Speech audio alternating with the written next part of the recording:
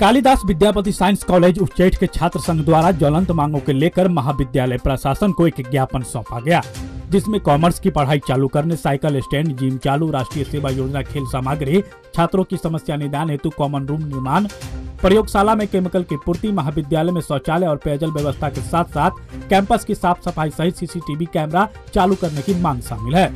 वहीं छात्र संघ द्वारा दिए गए आवेदन में बताया गया कि उक्त समस्या को लेकर कई बार आवेदन दिया गया है, लेकिन महाविद्यालय प्रशासन की ओर से छात्रों का कोई भी मांग को अभी तक पूरा नहीं किया जा सका। यदि प्रधानाचार्य इस आवेदन पर अविलंब संज्ञान नहीं लिया तो छात्र संघ बाध्य होकर छात्रों के हित में महाविद्यालय प्रशासन के खिलाफ अपनी मांगों को लेकर अनिश्चितकालीन आंदोलन करेंगे। जिसकी सारी जवाबदेही महाविद्यालय प्रशासन की होगी। इस बाबत जब प्रधानाचार्य से दूरभाष पर संपर्क किया गया तो उन्होंने बात करने से इनकार कर दिया और प्रधान लिपिक का संपर्क नंबर देकर उनसे पक्ष लेने को कहा गया।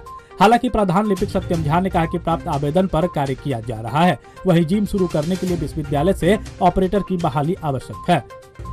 आवेदन देने में छात्र संघ अध्यक्ष सुधीर कुमार यादव, सचिव अभिषेक कुमार चौरसिया, परिषद सदस्य सतीश कुमार सीएसएस के बेनीपट्टी अध्यक्ष वीरू झा, छात्र सत्यम कुमार शिखा कुमारी, रंजना कुमारी, संगीता कुमारी, रेणु कुमारी, छोटी कुमारी, पूजा कुमारी, कृष्णा कुमारी, सुरेश कुमार, सुभेश कुमार यादव, मोनू कुमार शाह बलराम कुमार, रवि कुमार, मानवी कुमारी, रमेश कुमार गिरी, आयुष कुमार झा, राकेश कुमार, अविनाश कुमार, राम बाबू शाह मोहम्मद लाल बाबू, सुनील शर्मा, उज्जवल कुमार मिश्रा, नसीमा खातून सहित कई छात्र छात्राएँ उपस्थित थे।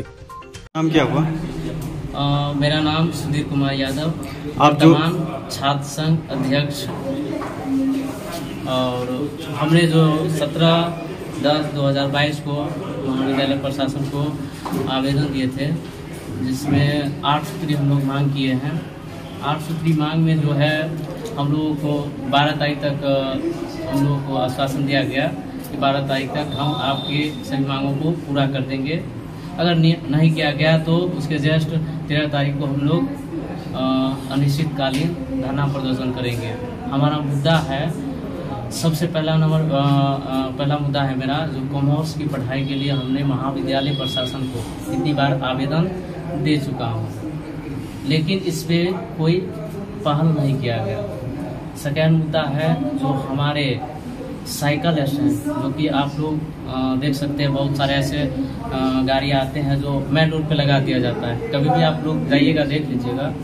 जो वहाँ पे यहाँ से वहाँ तक लगा देता है बहुत समस्या होता है। साइकिल स्टैंड एक सेपरेट होना चाहिए क्योंकि इससे पहले कॉमर्स की सॉरी ये जो अ, अथी हुआ था ये एक बार सेंटर पड़ा था उसमें एक स्टूडेंट का बाइक भी चोरी हो गया। तो ऐसा होता है कि साइकिल स्टैंड एक सेपरेट जो बाइक कहीं पे लगाया जा सकता है। और जो हमारा जो तीसरा है मांग, वो है जो महाविद्यालय कैंपस को आप लोग देख सकते हैं, जो कैंपस में सबसे ज़्यादा जो है अभी पूरा यहाँ से पूरा फ़ील्ड में है, जंगल पूरा लगा हुआ है, कोई मतलब साफ़ सुथरा कोई ध्यान नहीं दिया जाता है इस में हम साफ़ सफ़ाई पे दिए हुए हैं।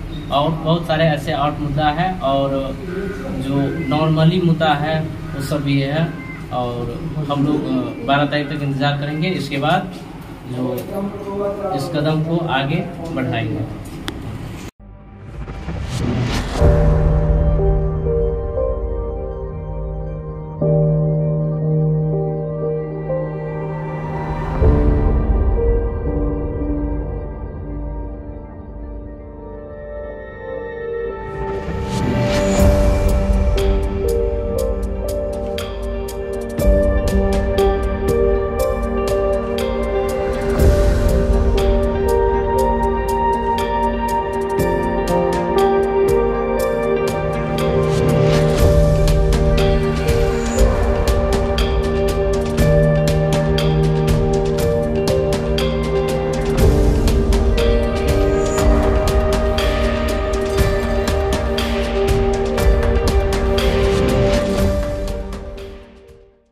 ज़िंदगी की भागदौड़ भरे सफ़र में हमें चाहिए एक नई ताजगी।